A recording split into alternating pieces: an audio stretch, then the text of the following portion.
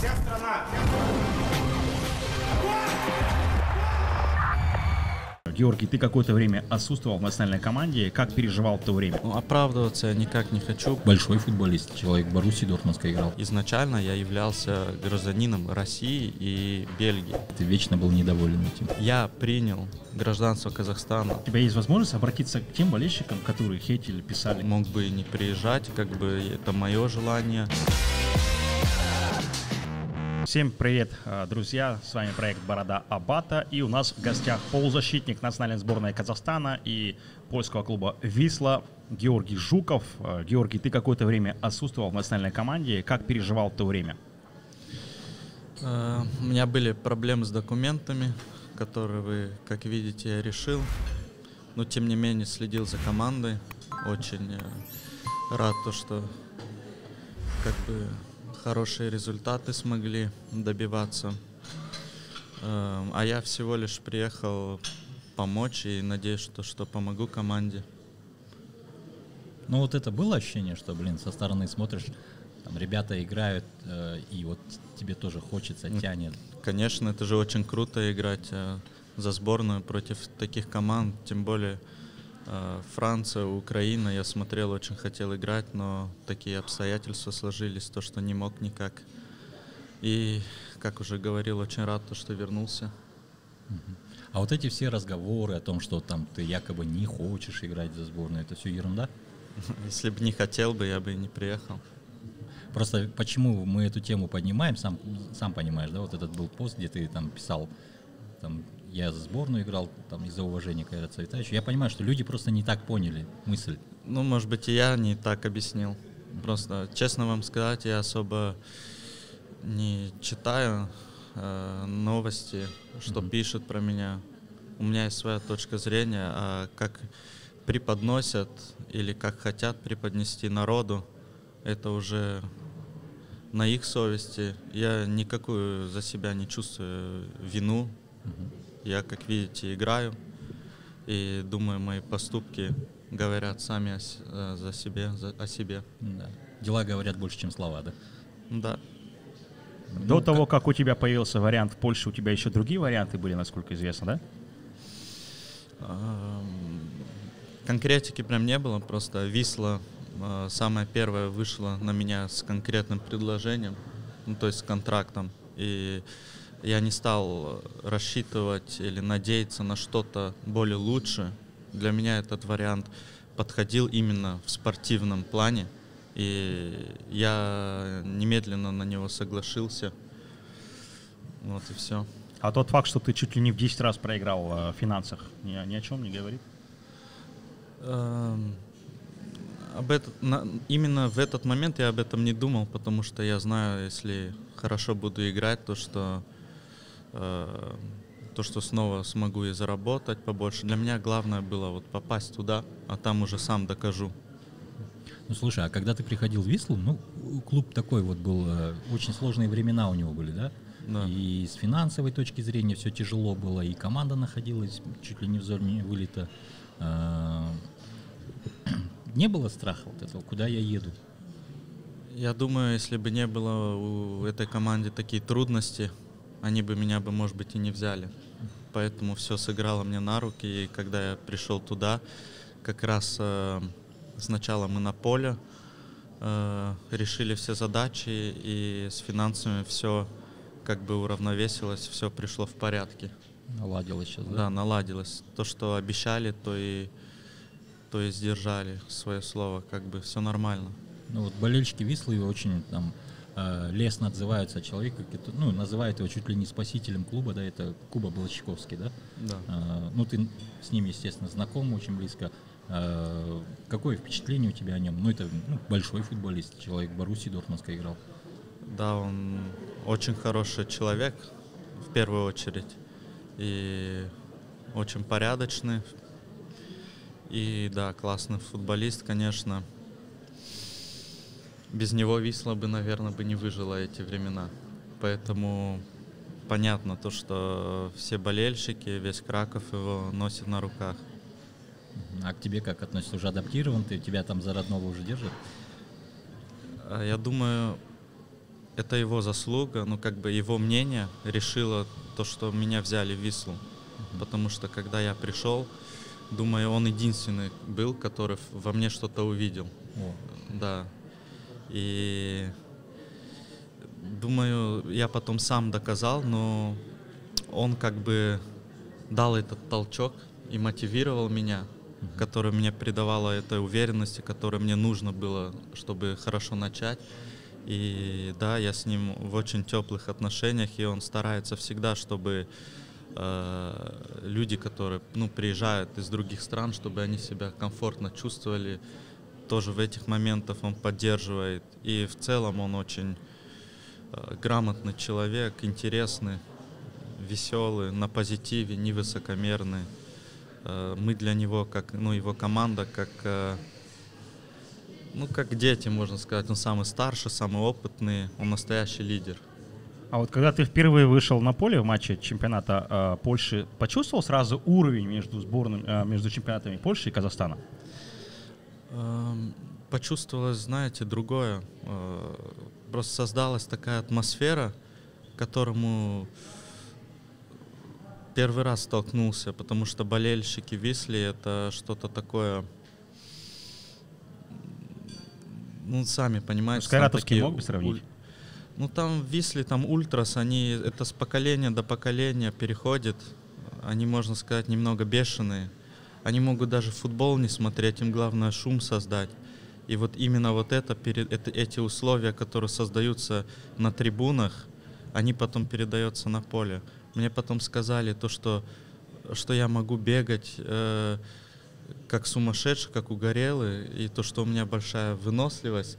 Но дело не в этом. Просто создались такие условия за, за то, что и после этого я начал... Ноги сами бы, бегут. Да, да, ноги сами бегут. Всего лишь поменялись обстоятельства. Ну, я смотрел пару матчей чемпионата Польши, по-моему, с Полонией вы играли, с, Иг... с Егелонией.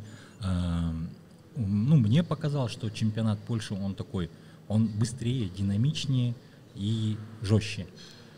Ну это да, динамичнее в плане э, каждая команда очень уверена в себе и хочет выиграть. То есть не ждут, везде прессингуют. И даже по статистикам, как э, я недавно случайно мне друг э, прислал статью, я сам удивился, то что ну, в Польше больше, ну, на втором месте вроде по интенсивности, да, да, именно да. вот беговой. И ну да, в этом плане Э, в Польше можно сказать, что темп очень высокий. Это я ощутил. Первое время я чисто на, за счет эмоций выгребал, потому что темп для меня был на самом деле немного даже высокий. И после игры я 3-4 дня чисто восстанавливался, потому что все ресурсы полностью уходили. То есть для меня это были необычные игры. Я полностью как на какой-то финал выходил, потому что надо было, да, адаптироваться. Вся страна! А почему, как ты думаешь, Висла долгое время а, шла в аутсайдерах? А, что не получалось?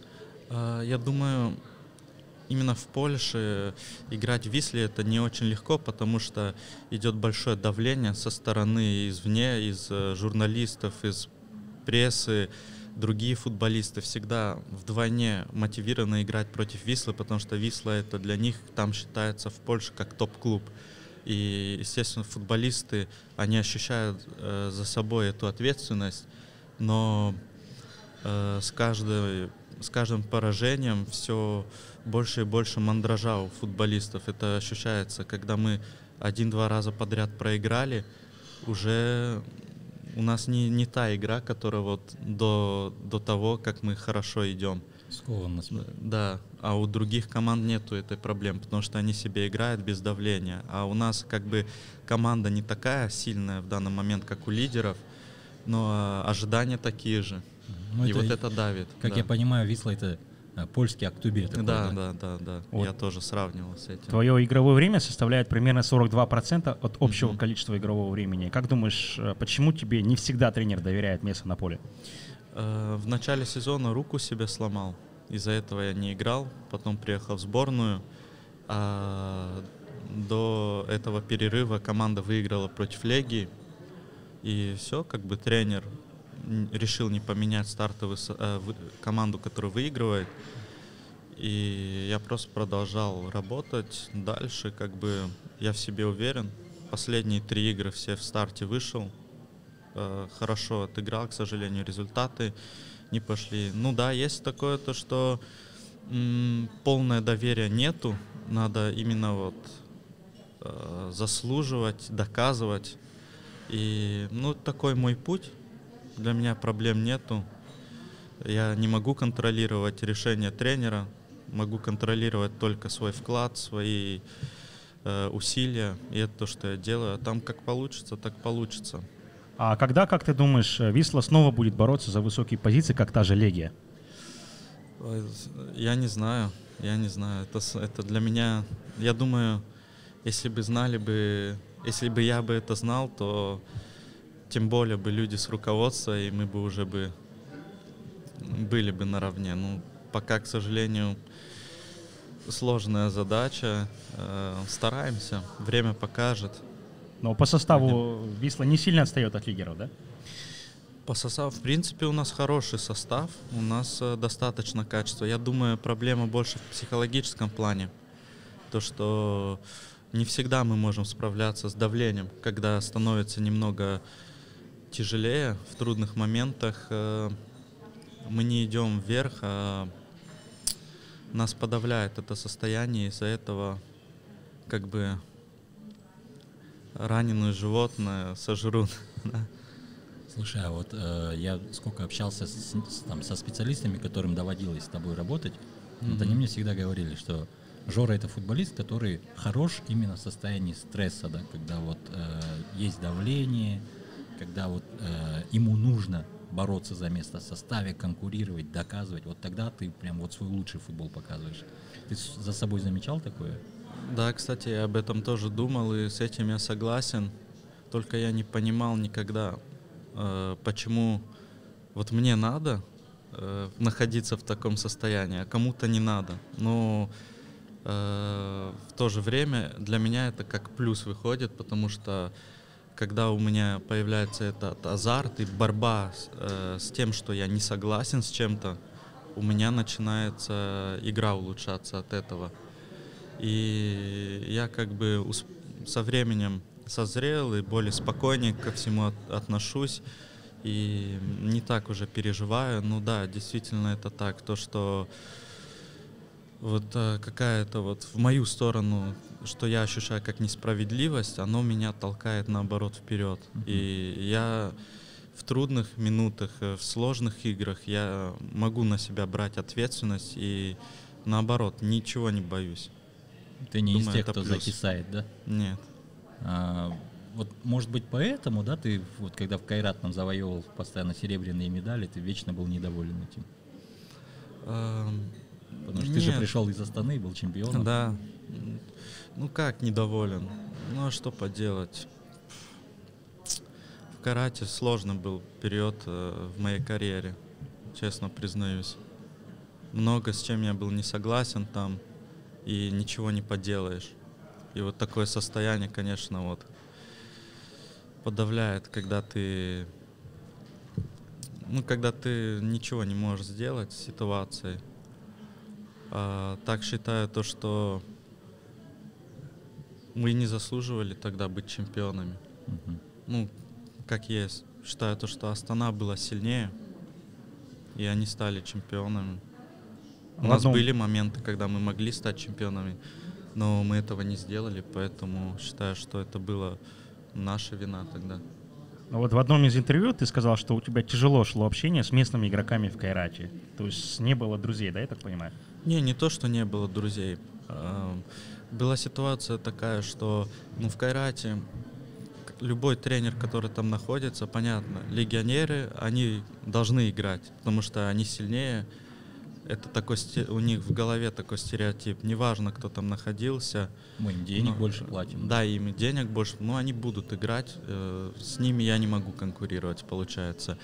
А когда речь идет о казахстанских футболистах, про меня тоже особо нет э, кто-то, который вот говорит, вот у нас есть э, Жора. Ну, потому что э, я для казахстанцев тоже как бы Легионер. Будто легионер, легионер, да. как будто и, и не легионер, и вот здесь я- Свой среди чужих, чужой да, среди и вот своих. такая ситуация была немного сложная для меня.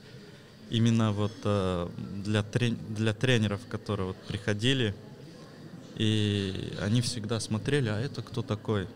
Ну и вот с этим я боролся постоянно. Ну, потом уже что поделать. А себя сам внутренне кем ощущаешь? Казахстанцем или все-таки иностранцем? Тем более, что ты большую часть своей жизни провел в Европе. Э, Знаете, вот до 2014 года, когда я еще не был в, Казахста- в Казахстане, я себя ощущал бельгийцем.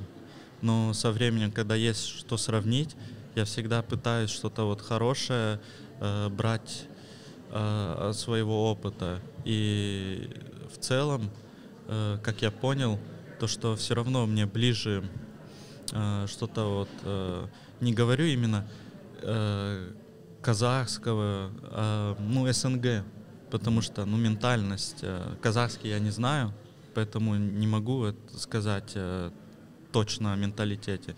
Ну, как с людьми здесь общался и, и тоже в России, где я играл, чувствую, что менталитет СНГ мне все равно чуть ближе по душе. На- Особенно, когда я начал э, больше понимать мен- менталитет и язык стал у меня лучше, я э, понял то, что вот это мне все-таки больше нравится. Ну, не все, конечно, но в целом, да. А в Кайрате я знаю, что в хороших отношениях ты был с Андреем Маршавиным. А, Продолжаете общаться? Ну, сейчас редко уже. Иногда бывает, переписываемся так слегка. Но сейчас общих таких тем пока нету, поэтому все на уровне Инстаграма, там лайки, комментарии, вот так вот. Ну вот понятно, что там играл рядом с тобой там большой футболист Андрюха Аршавин. А, Да. а в быту вот как с ним общаться? Он простой или звездный? Эм, Нет, я не, он не простой, но он не звездный, это точно нет, но ну, интересный человек. Эм, Есть кое-какие моменты, которые он мне научил, тоже как э, относиться ко всему. Ну, такой пофигист. Ну, По-своему он прав. С тем, что он имеет, в, какой, в каком положении он находится, он как бы все правильно делает. Молодец. Вот э, в Словакии играет чешский защитник э, Юрий Медве- Медведев, который в октябре родился. Он говорил, что ты с ним общаешься и вроде как даже звал в Астану и в сборную Казахстана, правда? А, Он у меня спрашивал, как в Казахстане, как в Астане. Сам меня нашел как-то в соцсетях, и вот так мы попереписывались. И единственное то, что я ему говорил, это положительное, то, что, ну да, вот э, в Астане, где на тот момент играл, у нас все хорошо, вот мы играем в Еврокубках. Э, Он тоже думал о том, чтобы переехать в Казахстан. Я ему посоветовал, да, решение за тобой, здесь все нормально, как бы все хорошо. Но он бы усилил сборную, как думаешь? Э, Честно, я его не видел как футболиста, но смотрел то, что он в слово не играет, да, Братислава. Думаю, однозначно бы усилил. Если он там играет в основе в Еврокубках, э, думаю, то, что да, парень бы усилил сборную Казахстана.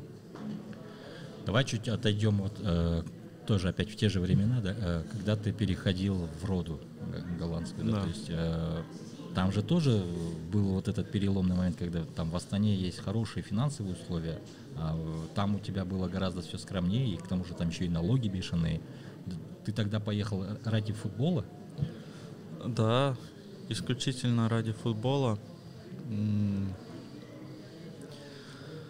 Ну, конечно, ну, Эредивизия хороший чемпионат. Тогда я был еще очень молодым, можно сказать. И э, в Астане два раза стал чемпионом и попали в Лигу чемпионов. Я очень дорожу этими воспоминаниями. И на тот момент э, я понял то, что ну, выше уже не получится. И решил идти вот своей дорогой. Вообще, какое впечатление у тебя сложилось о том периоде? Ты там регулярно играл, был игроком основного состава.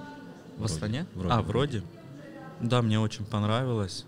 Но тогда я еще не был таким футболистом, как я сейчас. Если бы я тогда был более зрелый, думаю бы,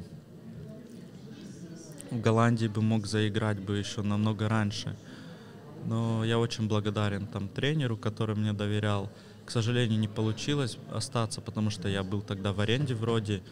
А Стандар меня не хотел отпускать туда, потому что они не могли заплатить никак, ни, ну, никаких денег. Мгм. А они- Стандар хотел э, хоть какую-то копейку заработать. И я как бы ждал, ждал, и они меня отправили в дубль и ожидали, что кто-то за меня заплатит деньги.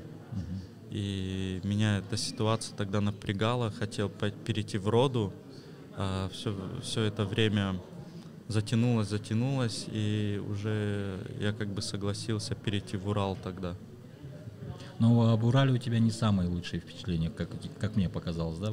Да нормально, я вот так подумал и пришел к выводу, то, что это моя вина была там, что не сложилось, потому что надо было показывать характер. Ну, знаете, вот э, я думал то, что вот все, меня взяли, хорошую зарплату поставили, я должен играть обязательно. Мгм. А пару раз меня как бы проигнорили, не сыграл, и я тоже не то что сдался, но требования к себе снизил. И думал, ну окей, не хотите, не ставьте меня. И виноватил их, а не себя. А должен был, в принципе, все нормально было, с ребятами нормально общался. Должен был просто Перетерпеть. да.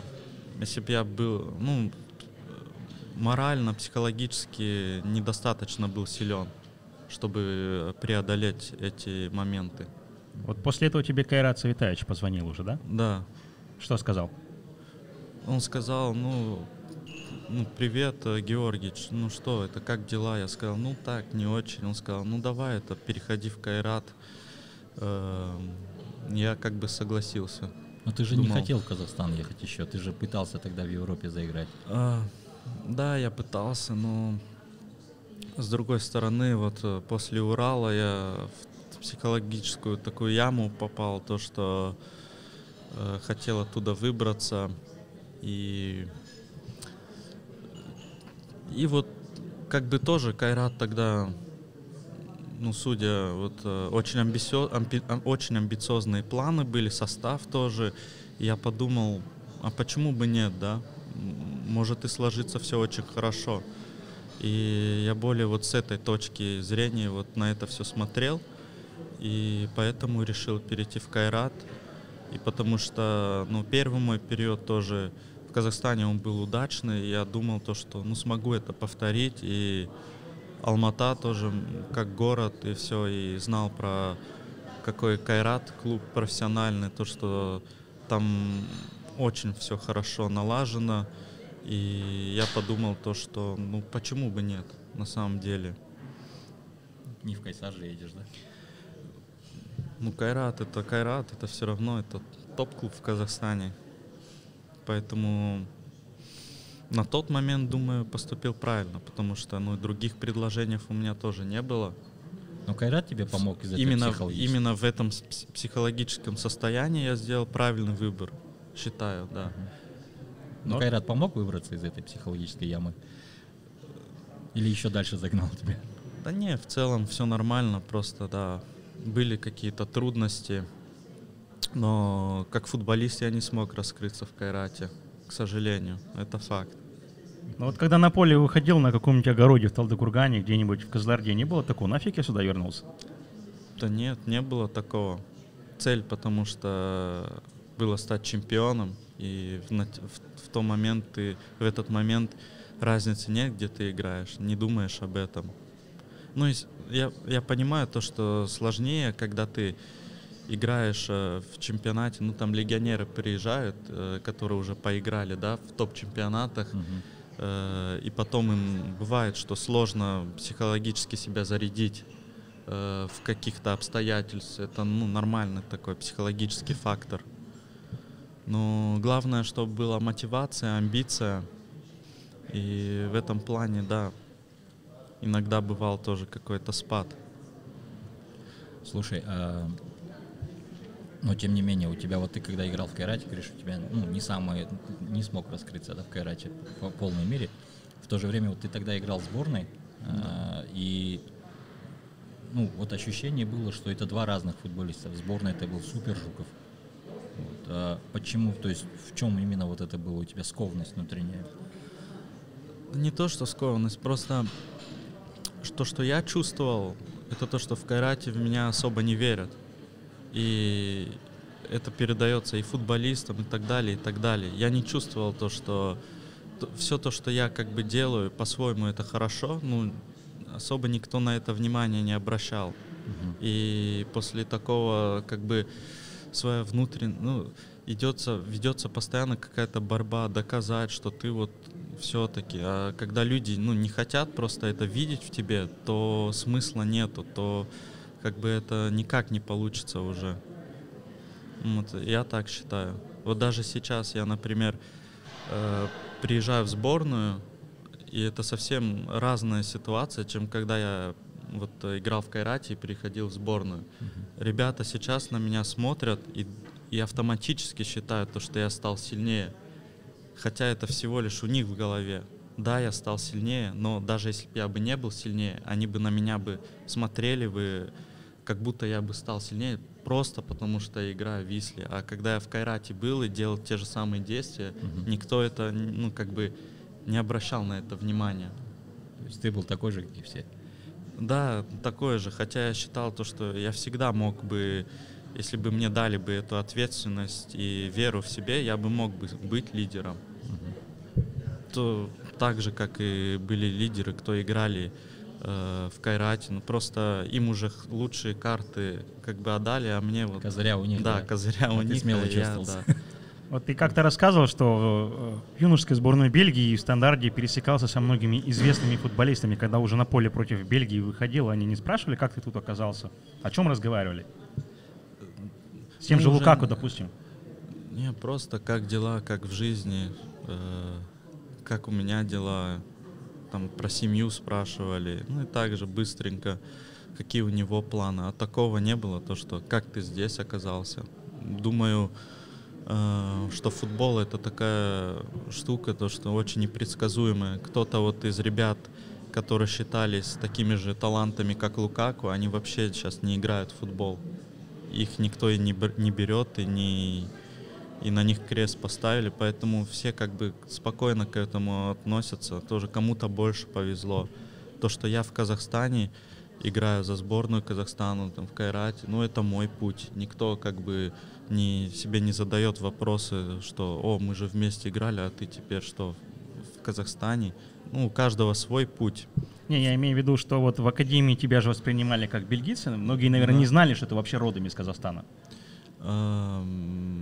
Или все-таки ты знали, знали то, что да, ну воспринимали меня как бельгийца. Сейчас, потому что я уже заигран за сборную, у меня вот везде флажок Казахстана, э, все меня воспринимают как казахстанца.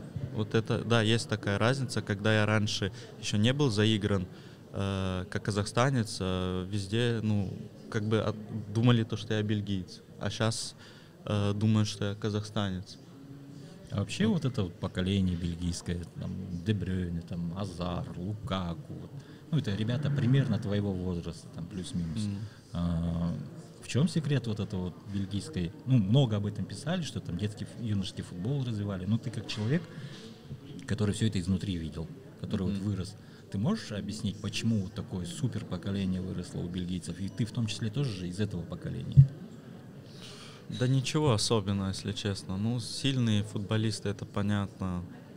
Эм, в хороших чемпионатах играют и постепенно растут. Мотивация, хорошие, да, ну, скауты постоянно приходят, их смотрят, развиваются и шаг за шагом добиваются своих целей. Все очень просто.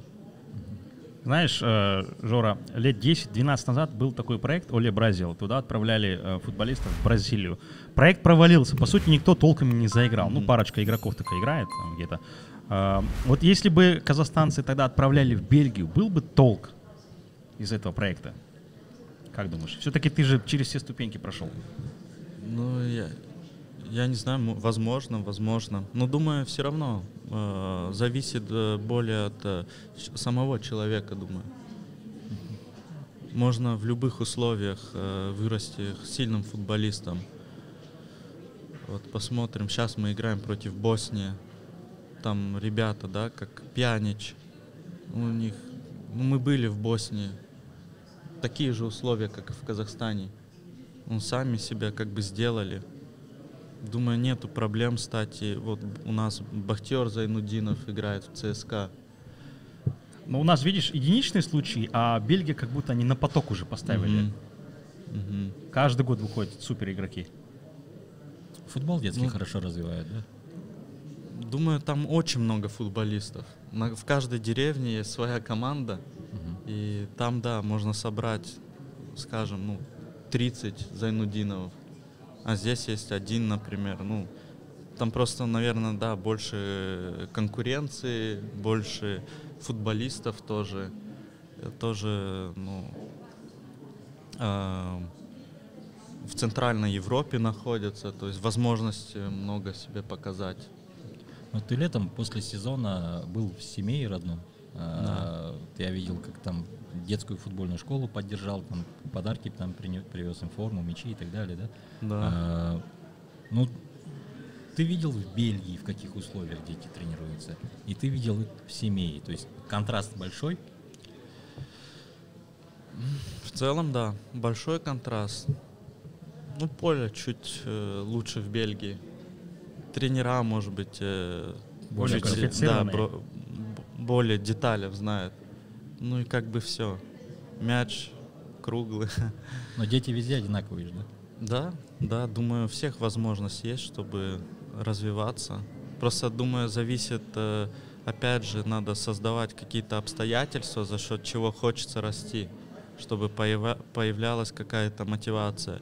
Думаю, вот э, ребята, которые там в семье занимаются, у них не хватает э, какой-то каких-то триггеров, какой-то веры. Ну, играют они там на Ну да, это тем поле. более и команды нет Никогда они не могут подумать, что они станут э, сильными футболистами. Вот ты э, Баху упомянул, да, вот он сейчас стабильно играет в ЦСКА э, в чемпионате России. У тебя есть э, в планах мысли вернуться в чемпионат России, доказать что-то тому же Уралу или Иванову? Доказать? Нет, э, я никому не должен ничего доказывать. Ну, Э, хочется в про- Россию? Я не знаю, я сейчас очень э, щ- счастлив в Висле, и мне нравится играть э, в чемпионате Польши. Хотелось бы добиться бы хороших результатов там, и больше я стремлюсь э, дальше играть в Европе, конечно. Но это мое желание. Посмотрим, э, как все получится. А так э, в России тоже сильный футбол очень. Э, Тоже очень много сильных команд. Я как бы хочу делать прогресс, это основное. А там какие команды, неважно. Считаю, что если уходить из Вислы, то желательно в команду, которая сильнее. А в какой стране, это уже, думаю, не так важно. Главное, чтобы был прогресс и перспектива. Вот ты мне как-то в интервью рассказывал, что тобой команда серии А итальянская интересовалась. Это давно было, да. Ну расскажи про это. Ну, мне агент, этот, с кем я работал, тогда говорил то, что меня хочет Кротоны. Они тогда вышли, эм, Из серии Б. да, из серии Б. И тогда и Урал меня хотел, но я как бы не хотел ждать. Ну, таких разговоров очень много. Я слышу про многих футболистов, интересуется эта команда, это, ну, в итоге никуда не переходят. Ну, думаю, аналогичная ситуация была и со мной. То, что было всего лишь под вопросом. Может быть, рассматривали меня как кандидатуру, но разница большая между попасть в команду и когда тебя рассматривают. Это небо и земля, разница. Поэтому... А вот конкретно какие-то варианты были, куда ты уже должен был перейти, но трансфер сорвался? Нет, такого не было. Нет, не было никогда. Вроде не было, нет. Давай вот вернемся э, к Семею. Там, вот ты видел этих мальчишек, которые там в футбол играют, да? А, ты говоришь, что триггеров вот этих нету, да? Э, А то, что вот из семей команды нету в премьер-лиге, это тоже влияет, что вот дети вот смотрят, а, а смысл мне сейчас пахать, где я потом играть буду, если в моем городе команды нет? В Алтай можно перейти. Алтай во второй лиге же играет. Ну, там доказывать, показывать себя. Почему нет? Ну, я не знаю, почему нету команды в семье. Это уже ха, вопрос э, там какиму, наверное, да? Жаль, конечно. Помню, играли против семей. Нормальная команда была. Слушай, а есть у тебя там в планах э, попробовать, не знаю, как-то там в семье обосноваться, там что-то сделать, там, не знаю, поле постелить, что-нибудь такое? Сейчас это модно просто отдавать, скажем так, дань родной земле. Ну, пока таких планов нету. Посмотрим, как будет в дальнейшем. Сейчас об этом еще не задумывался. Давай вот к Польше вернемся. Э, Я знаю, что ты несколько языков знаешь, да? То есть а польский освоил уже или как там, с кем, как объясняешься? Английский? Ну, на футбольном языке уже все понимаю. И в целом, да, понимаю то, что люди мне говорят. И могу уже кое-что говорить, но еще не полностью владею. Но он похож немного на русский, поэтому быстро адаптируюсь, осваиваю. Э, Дэвид Мау тоже играл там у вас, да? Да. А, Сейчас вот он в Шахтере, он один из лучших игроков. В ЖИТСУ был, здорово играл. А у вас почему у него не сложилось? Конкуренция. Думаю, он неплохо начал, но потом у нас э, был очень эмоциональный тоже тренер, и ему не понравилась его игра, и после этого как бы он уже шансов э, не получил, чтобы исправиться. Вот так вот. А вы с ним там общались близко? Да, мы хорошо общаемся. Он, он э, на русском разговаривает. И мы с, ними, да- с ним, да, всегда постоянно общались. И как футболист он мне тоже понравился. Хороший футболист на самом деле. Ну, вот так у него сложилась э, судьба Висли, то, что не получилось, бывает. А, Ну вот в Польше есть Легия, да, команда, которая ну, регулярно в Еврокубках играет, там играла в Лиге чемпионов там, и так далее. А, Ну, понятно, большой бюджет у этого клуба. А, Как конкурировать вот с такими командами, когда вот в Польше реально обыгрывать Лигию, или это как в Казахстане, там тяжело же вот Астану Табол обыграть? Да, Легия сейчас на 15 месте идет, их постоянно обыгрывают в чемпионате. Поэтому в Польше все реально, можно любую команду обыграть, неважно какой бюджет. А, Бывает то, что игры сложнее с маленьким соперником, потому что они так носятся, а, такие голодные, хотят очень э, попасть в лучшую команду. И думаю, вот это э, очень сложно, когда ты играешь против соперника, у кого больше мотивации. Думаю, потому что на классе в Польше сложно выигрывать. Если Легия или Лех Познан играют без э, желания, то они попадают. Поэтому только когда они на 100% э, идут в бой, то тогда они могут одержать победу. Ну а так, э, как конкурировать? За счет э, ну, структуры игры, за счет хороших взаимодействий, понимания футболистов. Поэтому в Польше стабильно играют те команды, которые уже на протяжении нескольких лет с друг другом. Сыгранность. с- да, сыгранность, костяк. Вот у них стабильность. Такой серьезный чемпионат Польши, на самом деле, я смотрел его. А ты когда туда вот появился у тебя вариант с Вислой, ты случайно там не спрашивал мнения там того же Хижи и Абзала Бесебекова, которые в Егелоне играли? В Корона Кельце А, да, играли. в Короне, да. Да, я спрашивал э, у Абзала, как вообще, какой там футбол.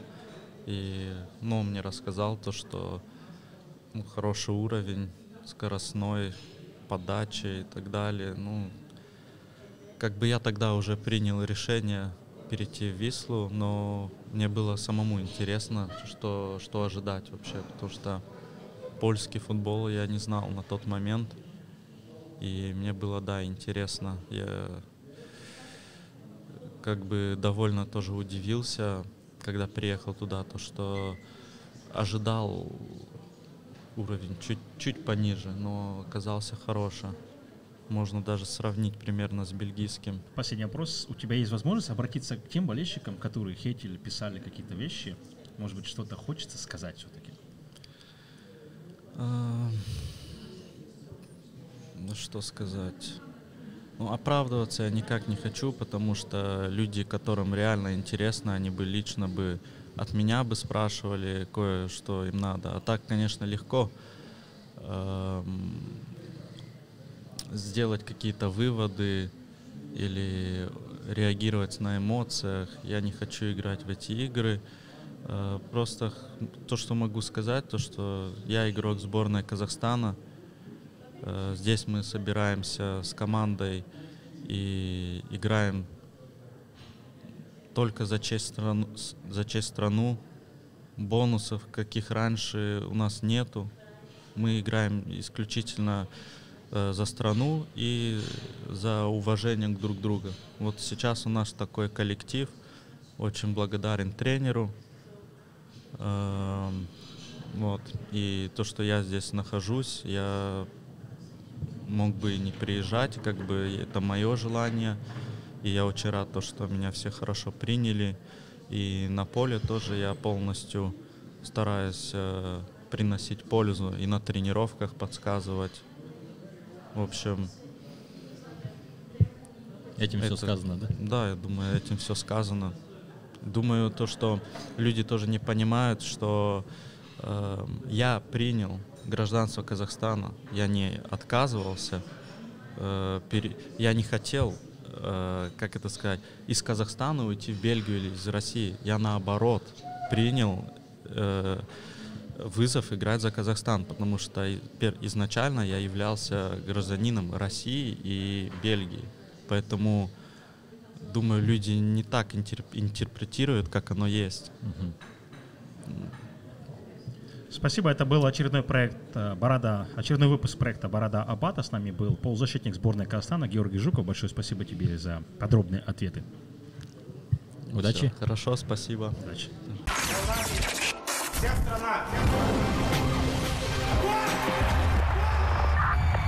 С вами рубрика «Инсайды» от Meteratings KZ. Бывший полузащитник национальной сборной Казахстана Баужан Джелчиев а, намерен вернуться в большой футбол. Напомню, он с декабря 2015 года не играл на профессиональном а, уровне и с тех пор находился без команды, хотя предпринимал ряд попыток а, вернуться в профессиональный футбол. Сейчас он активно тренируется и намерен отправиться на просмотр в один из клубов казахстанской премьер-лиги. Ранее им интересовались такие команды, как Экибастуз и SD Family. Смотрите рубрику «Инсайды» от Ratings и проект «Борода Абада».